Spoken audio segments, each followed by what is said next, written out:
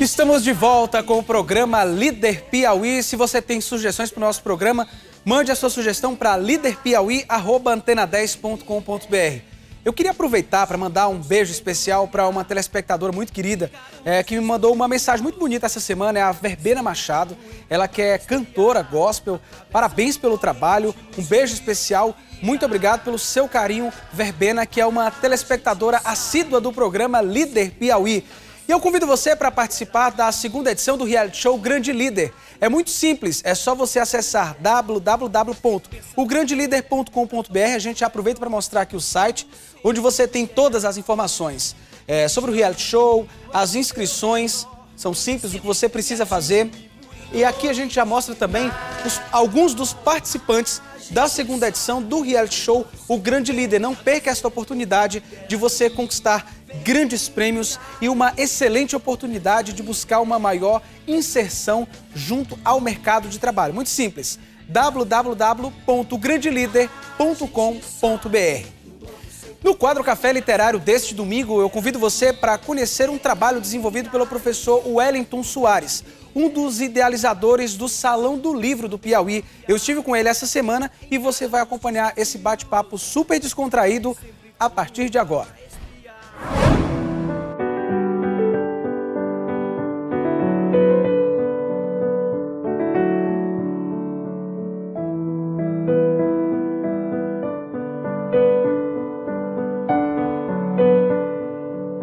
Vou conversar agora com o professor Wellington Soares, é, que dispensa a apresentação, ele que comandou durante um bom tempo é, a, o Salão do Livro do Piauí, agora vai falar um pouco mais sobre essas duas propostas. Professor, seja bem-vindo ao Líder Piauí. Como é que nasce a proposta de reunir literatura, arte e cultura num conteúdo como esse? Olha, na realidade, nós observamos o mercado editorial de Teresina Sim. e observamos que havia um, um vazio justamente nesse segmento. Seja, Teresina tem muitas revistas é, por área, né, na área jurídica, na área médica, né, colunismo social, mas não havia na área cultural.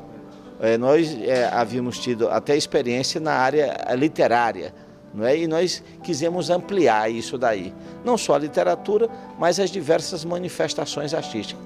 Porque muitas vezes a gente escuta as pessoas falarem o seguinte: ah, o Piauí não tem cultura. Tem cultura, só que você não conhece. E não conhecendo, você não passa o quê? A valorizar. Então, o objetivo da revista, na realidade, é valorizar, divulgar a cultura piauiense, mas sem perder de vista o que está acontecendo no Brasil e no mundo. Nós queríamos, não queríamos também e não pretendemos fazer uma revista, vamos dizer, barrista, é, é, é, provinciana. Não, é o Piauí localizado nesse contexto nacional e internacional. Essa proposta que a gente observa aqui através da Revestress é exatamente a, é, a junção da cultura, da arte, da literatura, da gastronomia. É, mostrar, a gente pode dizer que mostrar o Piauí culturalmente, a diversidade de uma forma positiva e mostrar o que realmente é sem mascarar e fazer com que as pessoas se sintam é, atraídas pela nossa história, pela vontade de ver o Piauí e melhora até a, a, a própria autoestima do, dos piauienses e, de certo modo, surpreender as pessoas de fora. Quer dizer, quando a gente mostra a Revestréis para as pessoas de fora, elas, elas se surpreendem, elas, se, elas perguntam assim, mas isso é, é produzida no Piauí? Vocês estão produzindo uma revista com essa qualidade? Com essa qualidade. Porque uma coisa que sempre nos orientou, eu e o André Gonçalves, é que nós deveríamos fazer uma revista, mas com qualidade ou seja, com padrão estético e também, acima de tudo, com conteúdo. Ou seja, nós combinamos, na realidade, um projeto gráfico extremamente, vamos dizer, ousado, bonito, atraente, mas ao mesmo tempo uma revista de conteúdo. Não é uma revista para você ler e descartar, mas é uma revista para você ler e guardar. Você passa a conhecer melhor está entendendo? O nosso estado, né? Quer dizer, cada um, né, de certo modo, bebeu e se alimenta da nossa realidade, dos nossos valores, dos nossos costumes. Agora, se você me perguntar assim, Ué, dessas 12 entrevistas, qual foi aquela que, vamos dizer, repercutiu? Qual foi aquela que teve maior aceitação? Qual é aquela que está esgotada? Teve algum específico? teve o João Cláudio Moreno. Hoje, praticamente, nós temos uns cinco exemplares que nós guardamos lá no nosso arquivo. Mas hoje praticamente você é, não encontra mais edição. O Assis Brasil está praticamente esgotado também. Agora, se você perguntar assim, qual foi a, a, a entrevista mais polêmica? Aí, duas são as mais polêmicas, né? Você tem a do Marcelo Evelyn, tá certo? E você tem também a do Douglas Machado, né?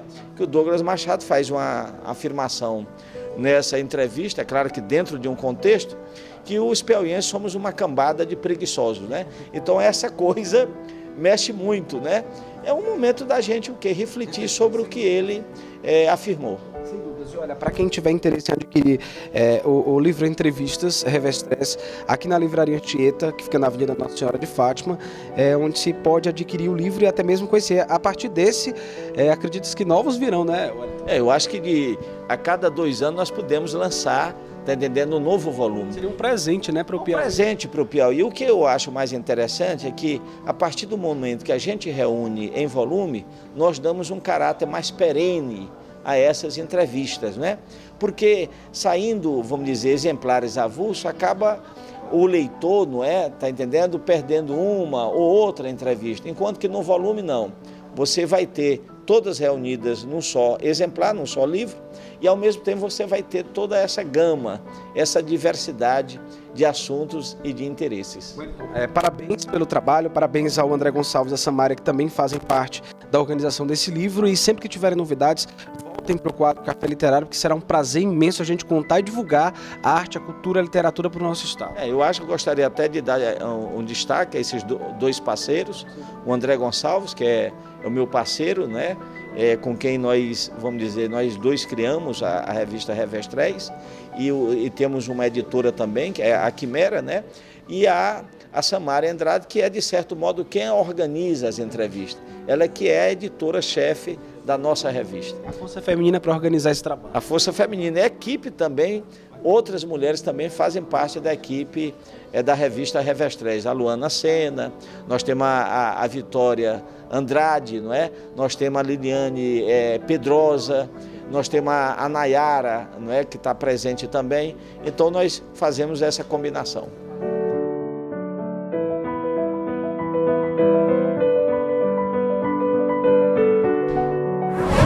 Tá, portanto, queria agradecer ao professor Wellington Soares pelo presente, o livro, a, essa primeira edição do livro Entrevistas Revestréis, que traz a história de do, 12 grandes personalidades, é, não só do Piauí, mas também de outros estados. E aproveitar mais uma vez para parabenizá-lo pelo trabalho. Ao professor Wellington, ao André Gonçalves, que é publicitário, e à professora Samária Andrade.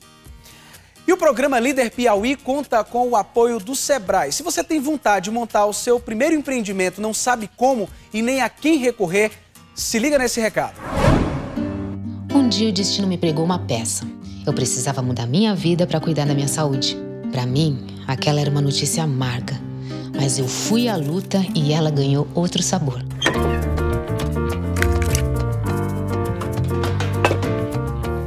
Tá quente. Bonzão, hein, mãe? Isso dá bem vendendo bolo. Oi, Dora. Oi. Ó, dona Lola, tô fazendo bolo pra fora. Se a senhora precisar, é só encomendar. Dora, é pra uma festa do bairro. Dora, é pros 15 anos da minha filha. Dora, é pra um casamento muito grande. Posso ser honesta? Eu até queria, mas eu não tô dando conta. Eu não tenho ajudante nem nota fiscal, não vai dar. Desculpa. Mãe. Eu sei, meu filho, a gente precisava desse dinheiro. Não, mãe. Daqui é um lugar que eu acho que pode ajudar a gente a formalizar. Formalizada, você pode emitir nota, ter CNPJ, direito à aposentadoria. Isso tudo por um pouco mais de 30 reais por mês. Você vai poder até contratar sua ajudante. Contratar? Não sobra dinheiro para isso? E se você criar um produto mais barato? Você vai vender mais e vai ter mais resultado. É, o Sebrae me deu uma ideia e eu criei o Bem Casado da Dora, com direito a site e tudo. Mãe, o site tá lotado. São 4 mil bem casados em 4 dias. Mãe, querem a senhora no prêmio de empreendedora do ano. Esse prêmio é o fruto de um doce sonho. Hoje eu sou uma microempreendedora individual, com muito orgulho. E para encerrar a série de reportagens especiais deste domingo é, do BR Obró, agora o repórter Wesley Salles esteve circulando por alguns pontos da cidade de Teresina para mostrar para você como é que as pessoas driblam o calor no Happy Hour. Veja. Esse BR Obró vai ser pura emoção. Oferecimento Engecop. Há 30 anos oferecendo grandes marcas com melhor preço. Brisa Sul Residence. Adquira o seu com o plano facilitado, sem entrada e sem intercalada. Bem Cuidar Home Care. Transportando vidas. E Teresina Shopping. Um novo mundo para você. Início de noite é um bom momento para o teresinense praticar uma atividade que pode ser até mesmo uma extensão do trabalho. O happy hour é, é bom, é interessante, mas a gente acaba usando para fechar negócio também, né? A gente está aqui para ter uma boa conversa, bater um bom papo, falar também um pouco de trabalho e fazer planos futuros. Aqui a gente procura primar sempre pela qualidade, né? A gente procura receber nosso cliente a cada dia, né? Para que ele se sinta em casa e nossos funcionários se familiarize com eles o máximo possível e trate eles como eles gostariam de ser tratados se eles chegassem em algum lugar. Ou momentos de pura diversão.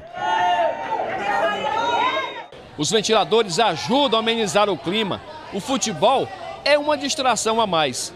Mas o que faz deste um dos melhores locais para curtir o happy hour esta possibilidade única de encontro com os amigos. Por aqui, a animação não falta. A cerveja gelada é o que não falta, o ambiente aberto, é bem ventilado, que é o que importa. Num calor desse aqui é, é essencial, é um lugar desse aqui. A gente tem que se refrescar com a cervejinha gelada e se refrescar também com o ambiente que proporcione isso, né? Para dar um basta no calor, há quem prefira comemorar o próprio aniversário espalhando o gelo pelo chão. Como é que você faz com essa camada de gelo? Bom, é, é muito fácil. A gente liga lá para uma empresa que fornece gelo, a gente contrata um caminhão, separa as mesas, aí bota aqui e pronto. É só chegar os amigos fazer a festa. Na região centro-norte de Teresina, este é um dos locais preferidos para o happy hour, principalmente em períodos de BR Obró. Você ficar em casa com esse calorão não é nada confortável, né? E aqui até que tem uma brisa boa, uma boa música, uma cervejinha gelada, você encontra com as amigas e uma boa conversa, acho que é uma boa opção para Teresina. Deixa a vida me levar. Deixa a vida me levar. Deixa a vida me levar.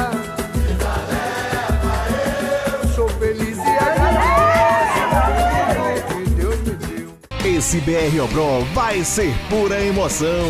Oferecimento Engecop. Há 30 anos oferecendo grandes marcas com melhor preço. Brisa Sul Residence. Adquira o seu com o plano facilitado, sem entrada e sem intercalada. Bem Cuidar Home Care, transportando vidas. E Teresina Shopping, um novo mundo para você. E você não pode perder no próximo bloco, olha, uma entrevista que nós fizemos essa semana com o cantor Francis Lopes. Você vai conhecer um pouco mais sobre a trajetória de vida dele. Daqui a pouco, não saia daí, depois do intervalo, a gente volta já.